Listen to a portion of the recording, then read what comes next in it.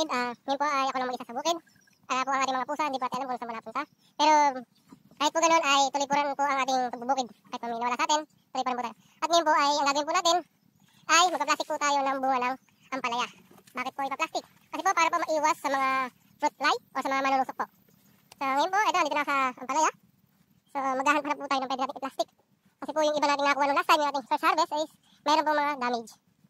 So ngayon po, simula na po tayo rito. Samahan niyo po ako.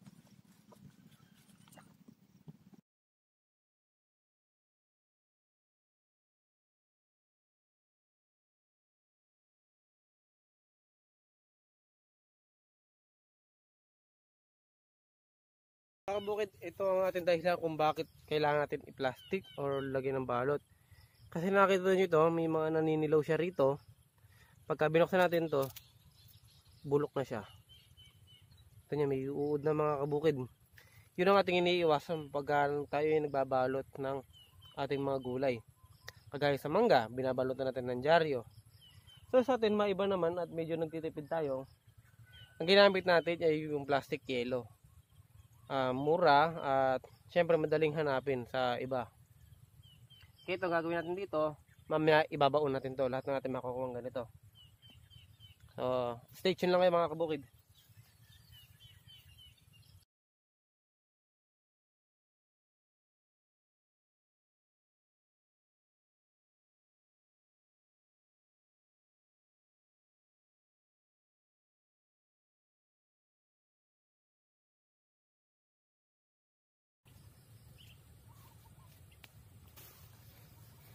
Ito yung mga may tama oh.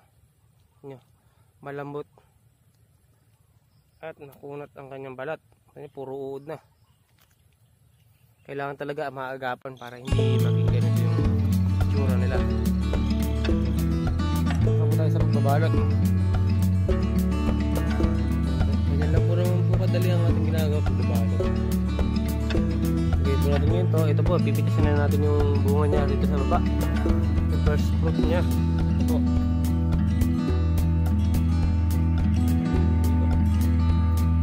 Pwede pang ulam. Natin po tayo rito. Na pwedeng kuhanin or pwede ba natin ibalot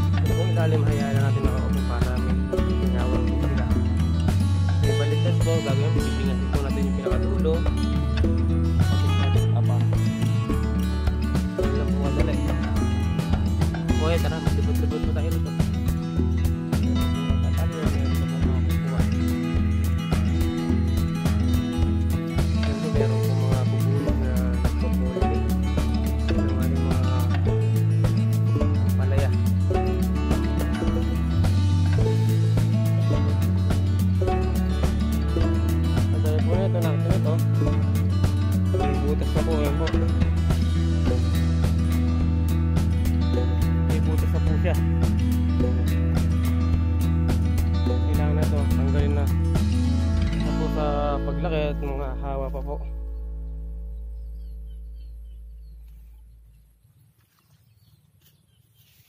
Ito po, ang dami po oh, na, na, na may tama. Ngayon po, kung mamitas po tayo ng iilan para mang-ulam mamaya.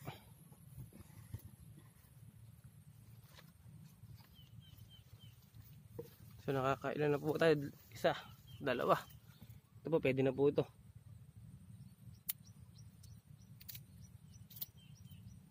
Yan, magko-concentrate na po siya ngayon sa pamumulaklak. Wala na po ba?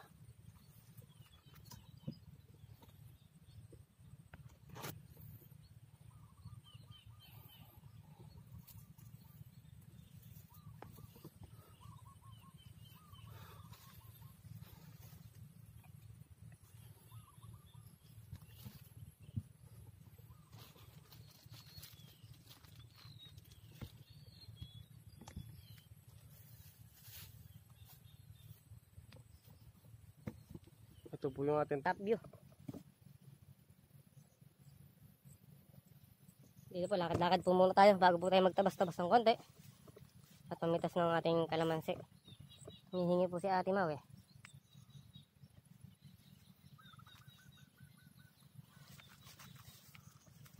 Yung sitaw po, kailangan na ding harvesting kasi gumugulang na din. Meron po tayong hindi natali mga kabukid. At dito mo po muna kayo. Ayan. Hanggat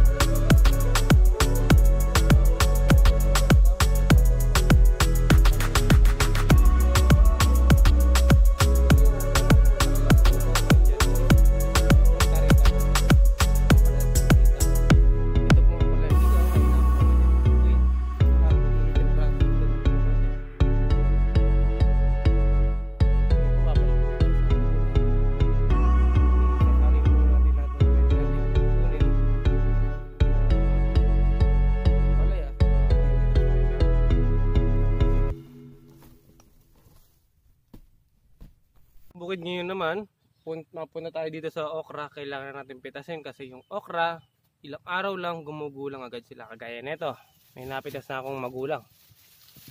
Gaya nito, kita nyo. Ilang days pa lang yan. So, ang lalaki na nila. Kailangan na talaga natin silang agarin kasi pag hindi natin inagad, gugulang lang sila. Hindi mapapakinabangan. Ang mangyayari nun, magiging binhi lang sila. So, samahan nyo akong kumuha ng okra. Mag-gloves dapat tayo kasi yung kanilang pinaka-spike makate. Ngayon,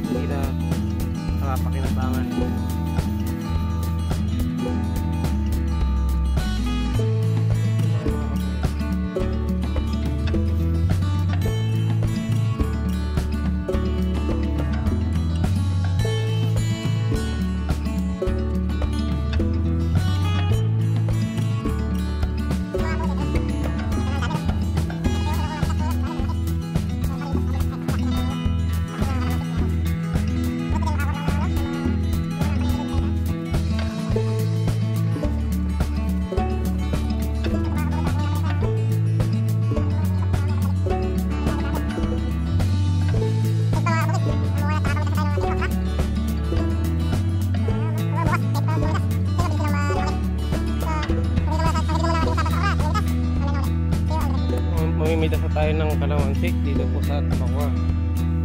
So, ganun po yung malapit dito sa Kabubo. Tingnan po natin.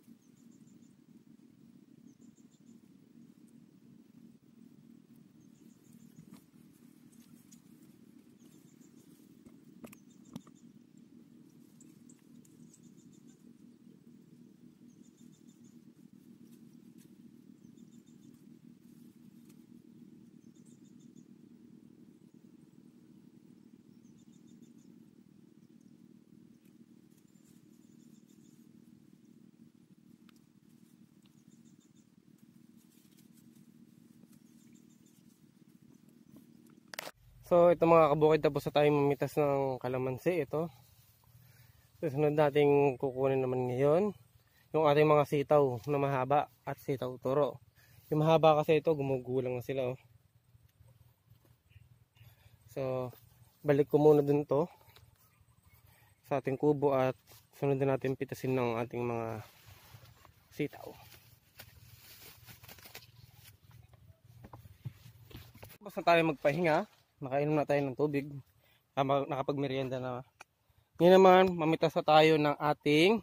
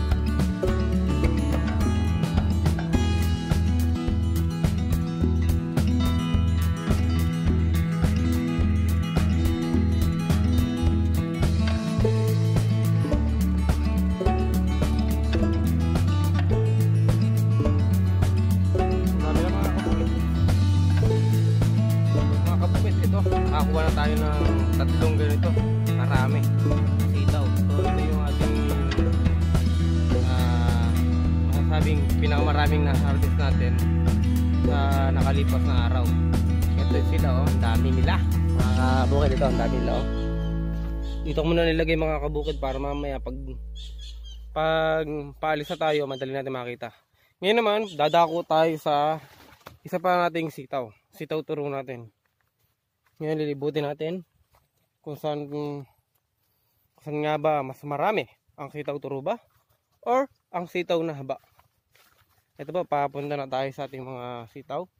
Ah, hindi po ako nakapagtabas-tabas ngayon dahil kanina po nagplastic po tayo ng bunga ng, ng palaya. Tumingin po tayo ng bunga ng okra. At syempre bukid ngayon naman, pun- mapunta tayo dito sa okra, kailangan natin pitasin kasi yung okra, ilang araw lang gumugulang agad sila. Kagaya nito, may napitas na akong magulang. Gaya nito, kita nyo. Ilang days pa lang yan.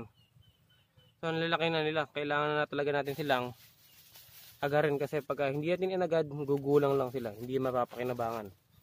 Ang mangyayari nun, magiging binhi lang sila. So, samahan nyo akong kumuha ng okra. Mag-gloves dapat tayo kasi yung kanilang pinaka-spike, makate. Ngayon,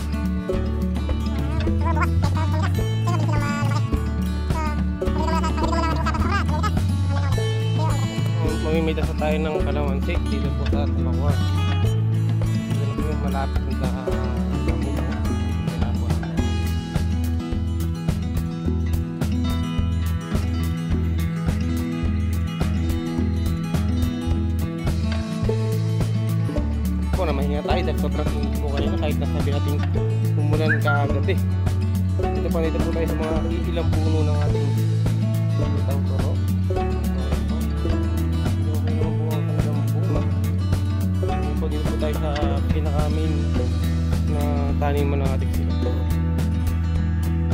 Ayan, tara po tayo.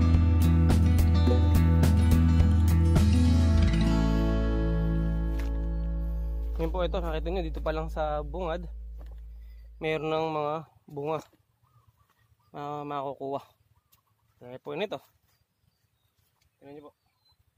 Mga kabukid, ito, nakakuha na tayo ng tatlong ganito, karami, na sitaw. So ito yung ating ah, masasabing pinakamaraming na harvest natin sa nakalipas na araw. Ito sila oh, ang dami nila. Mga kabukid ito, ang dami nila oh.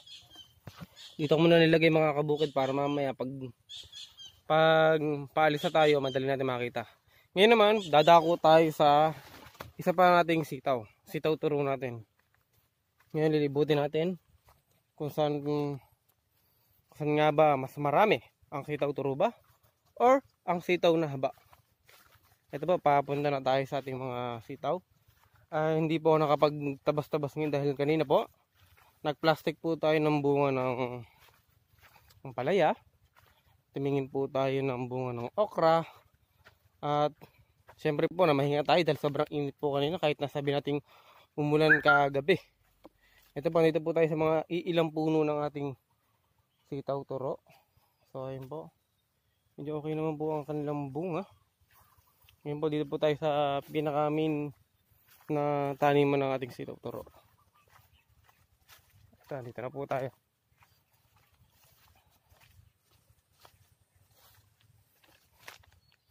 Ngayon po ito, nakita nyo dito pa lang sa bungad. Mayroon ng mga bunga na makukuha. Po nito.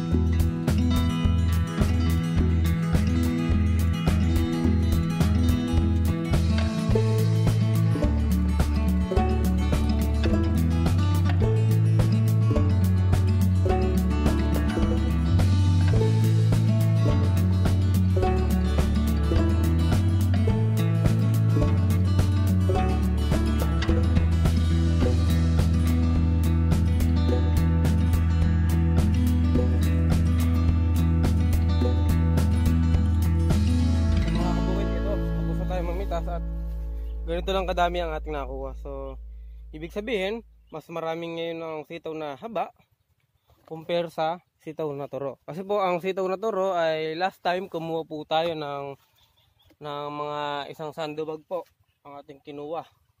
Na sitaw turo po yun. Tapos ang ating naiuwing sitaw na haba naman po ay isang ganito din po. So ibig sabihin mas marami po yung nauna na pamimitas natin compare po ngayon. Kasi po yung ngayon, ah, kailan lang po ulit nadiligan natin ng sitaw turo, kailan natin na siya nadiligan.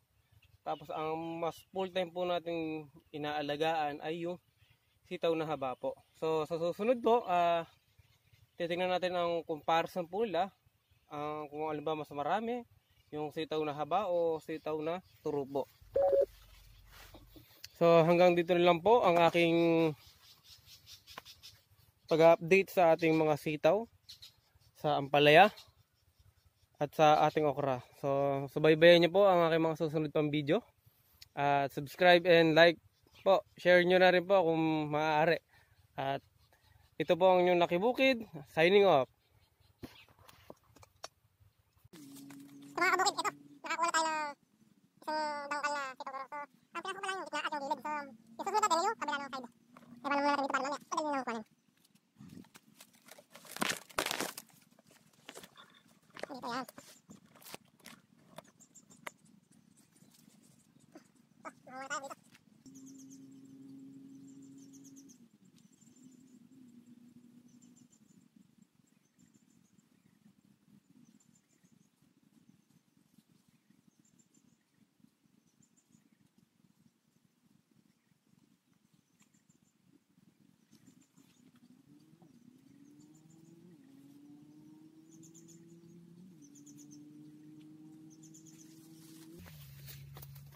Sa mga kabukid, ito.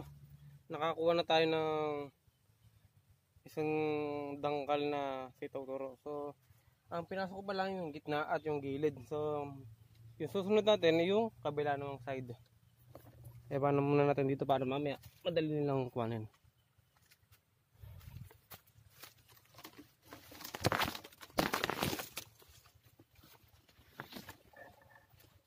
Dito yan.